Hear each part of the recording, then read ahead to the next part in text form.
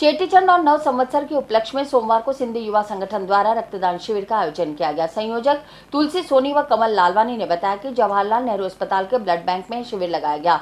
इस रक्तदान शिविर में सिंधी समाज के युवाओं ने बढ़ चढ़कर भाग लिया। इस शिविर में जो भी रक्त एकत्रित होगा, वह गरीब और दुर्घटना में घायल मरीजों के काम में लाया जाएगा। इस मौके पर सिंधी समाज की महिलाएँ भी मौजूद रहीं।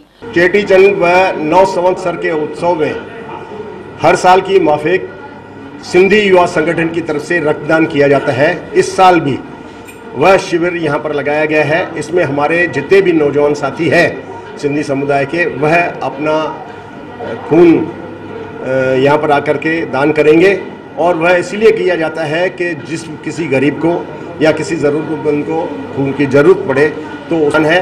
इसीलिए आज यह शिविर यहाँ पर हमारी तरफ़ से लगाया गया है। कितना लक्ष्य लक्ष्य हमारा करीबन 50 एक यूनिट देने का है। कब तक चलेगा ये? ये करीबन एक बजे तक चलेगा। तो कहाँ पे किया जा रहा है? कहाँ पे किया जा रहा है? ये अपने जेलिन हॉस्पिटल के ब्लड बैंक में जो है ये शिविर लगा हुआ है और वहाँ पर हमारे सब साथी आ रहे हैं और सब बड़े खुशी से और यह दान दे रहे हैं।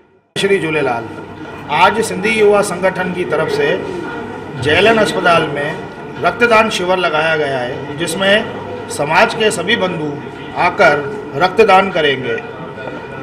रक्तदान का हमारा मकसद यही है, गरीब पीड़ित मानव को, जिन्हें को दर दर भटकना पड़ता है रक्त के लिए, उनको सुलभ तरीके से रक्त प्राप्त हो। रक्तदान महादान। इसी प्रेरणा के साथ में हम रक्तदान करवा स्वामी न्यूज़ के सभी दर्शक तरोताजा खबरों के लिए यूट्यूब पर स्वामी न्यूज़ को सब्सक्राइब करें। साथ ही शहर से जुड़ी तमाम खबरों के तुरंत अपडेट्स के लिए बेल आइकन पर क्लिक करें। यह न्यूज़ आपको कैसी लगी? इसके लिए हमें कमेंट बॉक्स में आपके अमूल्य सुझाव दीजिए और इस वीडियो को लाइक व शेयर करें।